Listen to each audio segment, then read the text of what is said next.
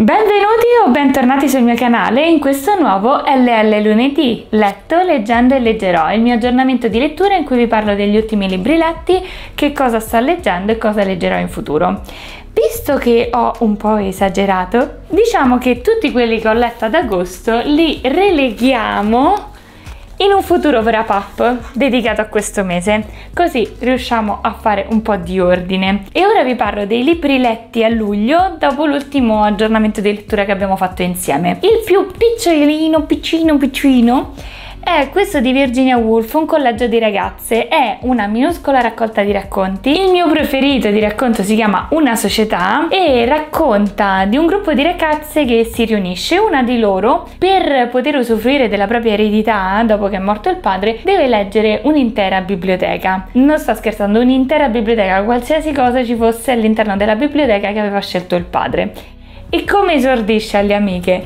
Dice: I libri, esclamò, sono per la maggior parte indicibilmente brutti, perché povera Stella aveva, doveva leggere dizionari, eh, cose di, che non le interessavano minimamente di storia militare e quant'altro. Quindi cosa decide questo gruppo di ragazze? Decide che visto che lo scopo degli esseri umani è produrre bei libri, loro dovranno fare da guardia agli uomini per controllare che loro scrivano ottimi libri. Quindi si riuniscono, si travestono da uomo, si infiltrano. Mi è piaciuto tantissimo, non voglio dirvi altro anche perché vi ho già spoilerato più della metà, visto che sono racconti brevissimi. È sicuramente valso la pena, costa solo 4,90 euro e vi consiglio di comprarlo.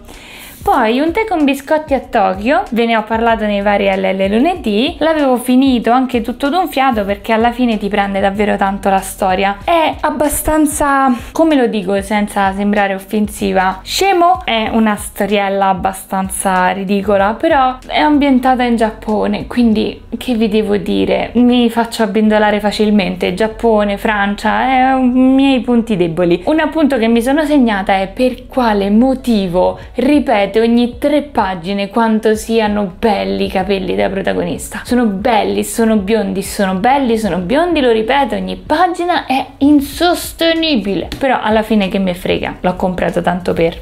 È costato anche questo pochissimo perché come avevo detto erano i 9,90 due libri della Newton, quindi vabbè. Ultimo libro letto a luglio, che cosa vediamo quando leggiamo? Non ci crederete, l'ho letto in un giorno. Ora direte, oh mio Dio! No, è finto, è finto.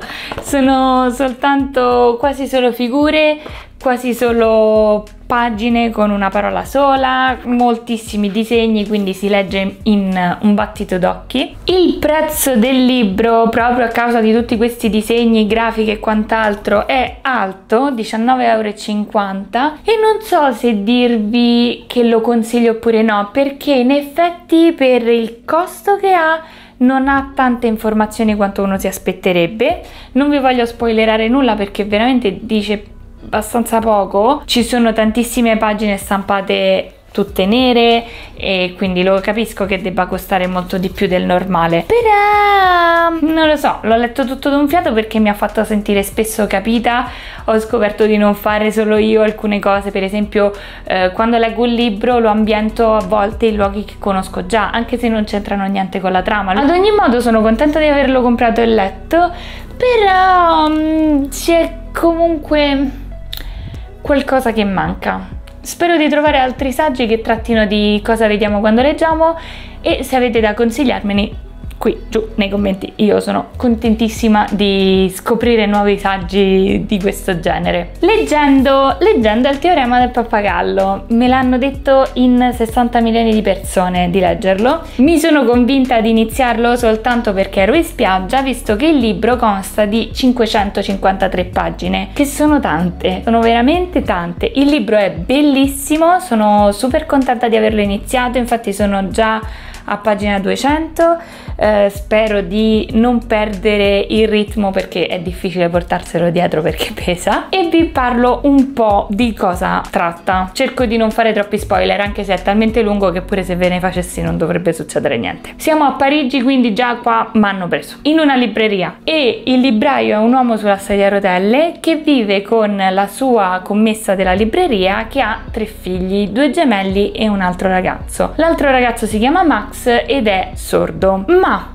Perché il teorema? Perché il pappagallo. Max salva un pappagallo dalla testa blu da un abuso che ha, che ha visto per strada. E il teorema viene dal fatto che il libraio riceve da un vecchio amico un'intera biblioteca di testi matematici. Da quel momento inizia a fare delle lezioni ai tre ragazzi per raccontargli un po' la storia della matematica oltre alla matematica in sé. È davvero bello, a volte un po' ripetitivo perché comunque è un libro per ragazzi secondo me, quindi nei libri per ragazzi si sente ripetere spesso per esempio che Max è sordo, lo ripete in continuazione, in continuazione ci dice dove vivono, la via, quanti sono, perché sono lì e quindi risulta un po' fastidioso quello e che la matematica, adesso sono ancora all'inizio, quindi siamo in antica Grecia, geometria, cose molto di base, la matematica è molto molto conosciuta, quindi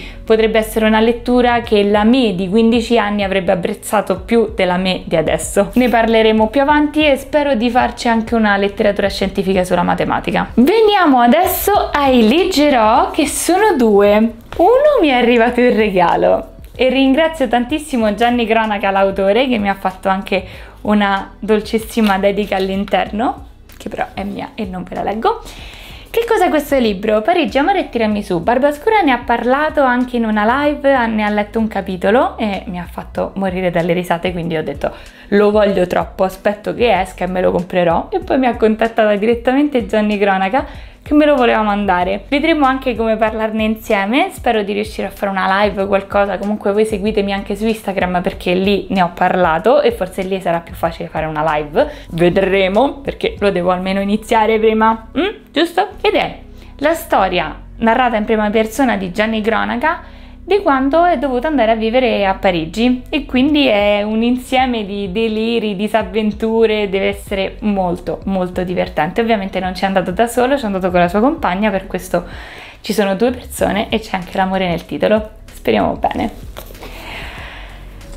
Vi ho detto che l'avrei comprato. Non vedevo l'ora che arrivasse. Non vedevo l'ora. Sì, sono una bimba di falcinelli. Questo libro aprirà la rubrica come l'ho fatto per Cromorama lo farò anche per figure. Spero di imparare tanto di migliorare anche i video la composizione delle fotografie su Instagram in generale migliorare io. E ringraziamo Falcinelli per essere in vita e scrivere e divulgarci tutti. Detto ciò ci troviamo al wrap up di agosto con quest'altra montagna qui dietro. E io vi posso fare una domandina. Quanti libri avete letto ad agosto? rispondete qui sotto così scopro quanti di voi sono arrivati fino fino a questo punto del video. A questo punto vi chiedo soltanto di lasciare un mi piace, iscrivervi al canale e non mi rimane che augurarvi buona lettura!